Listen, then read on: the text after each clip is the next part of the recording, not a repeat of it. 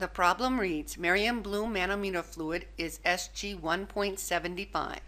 Calculate the density rho, the specific weight gamma, and the weight of 1 liter of this fluid in SI units.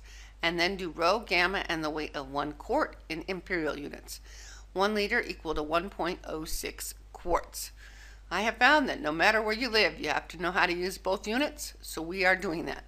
Notice that if we start like we always do by writing down our data, the only data we have is that SG equals 1.75.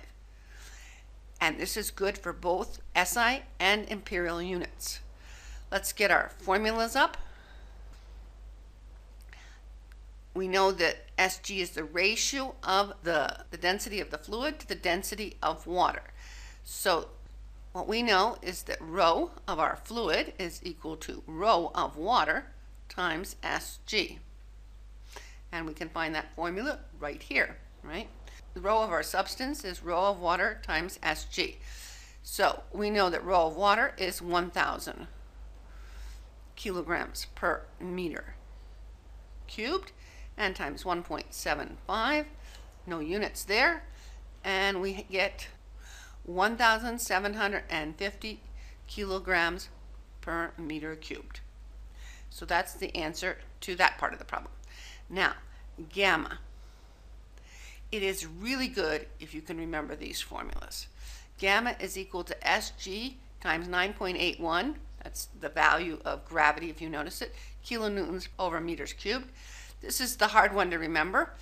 Um, Sg times 62.4 pounds per feet cubed, and that's because we have to do kilonewtons to pounds using this formula, and then meters cubed to feet cubed using the fact that a foot is 0.307 meter. Anyway, try to remember these by heart if you're not allowed to have formulas. So anyway, SG 1.75 times 9.81 kilonewtons first meter cubed. That's the correct unit. Get our calculator. So 1.75 times 9.81. We expect it to be a little bit less than 17 because this is a little smaller than 10. 17.2. 17.2 kilonewtons per meter cubed. Now the last thing we need to calculate is the weight of one liter of this fluid. So we're looking for the weight, probably in newtons or kilonewtons, of one liter of fluid. And do we have something similar to that so that we can work this out? And the answer is yes. This is in kilonewtons and meters cubed, so we have 17.2 kilonewtons over meters cubed. So let's change this into newtons. So we would have 1,000 newtons over a kilonewton, and we would have uh, meters cubed over a thousand liters. So all of our units cancel, leaving us with newtons, liters with liters, meters cubed with meters cubed, kilonewtons with kilonewtons, and the thousands cancel, and we're simply left with 17.2 newtons. So those are our three things that we were asked to calculate in SI units. We're left to do the imperial units. Let's do rho. Same formula. So rho is rho W times SG, except that now we're using 1.94. 1.94 slugs per feet cubed times 1.75 so that would be 1.94 times 1.75 equals 3.4 slugs per feet cubed. 3.4 slugs per feet cubed. And then gamma. Gamma equals 1.75 times 62.4 pounds per feet cubed equals 1.75 times 62.4 and we get 109.2 so 109.2 pounds per feet cubed.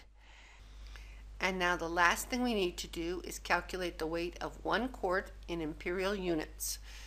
So what is that unit, by the way, for weight in imperial units? It's pounds. Pounds force officially, but still pounds. So we want the weight of one quart in pounds, and we have one liter is 1.06 quarts. We start the same way as here. We start by writing weight over one quart. But here we could use gamma because we had a relationship between meters cubed and liters. Here we have no relationship between feet cubed and quarts. But we do know liters. We have 17.2 newtons per liter. We know newtons to pounds, and we know liters to quarts. So that should do it for us. So this is equal to 17.2 newtons for one liter. That's what we got from here. We want pounds on the top, so 225 pounds over a kilonewton, that's 1,000 newtons. That gives rid of the newtons. Now we need to get rid of the liters and the quarts. So one liter is equal to 1.06 quarts. Everything cancels. So quarts cancels with quarts, newtons with newtons, liters with liters, and we're left with pounds. So let's get our calculator up, and we have 17 point, and we can use this one, or just 2, from here, times 225, divided by 1,000, divided by 1.06. And that gives us 3.65 pounds. 3.65 pounds, which makes sense. So these are all of our answers. And we are done.